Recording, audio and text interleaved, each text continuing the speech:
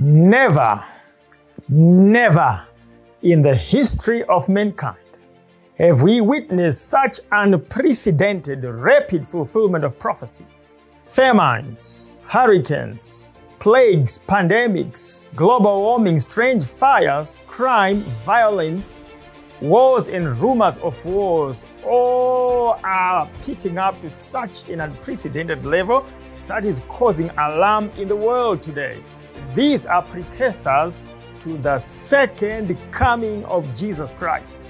The next major event to be witnessed by this whole world is the coming of our Lord and Savior Jesus Christ. How can you be ready for that great event? How can you be found on the safe side?